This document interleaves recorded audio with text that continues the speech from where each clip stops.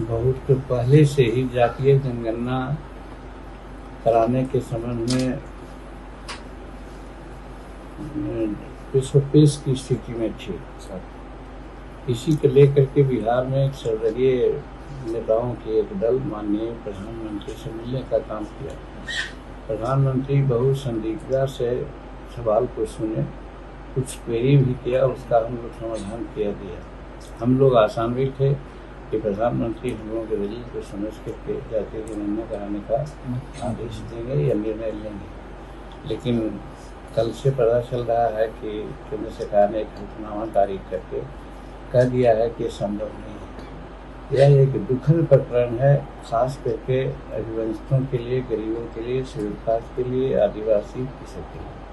क्योंकि हमारा कंसेप्ट है, शुरू से हम कहते आ रहे हैं हमारा कंसेप्ट है, हमारा संविधान कहता है कि जिसकी जितनी जनसंख्या भारी मिलेगी, उसको उतनी हिस्सेदारी तो जब हिस्सा लेने की बात है, घर में बैठ क्योंकि हम लोग स्वतंत्रता का लाभ ले रहे हैं, आज़ादी का लाभ ले रहे हैं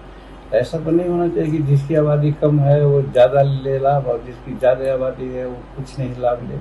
तो इसी विसंगति को दूर करने के लिए जातीय जनगणना बहुत आवश्यक है, और जातीय जनगणना बहुत पहले से नहीं हो पाया है। अंग्रेज़ों के समय में हुआ था, स्वतंत्रता के समय में भी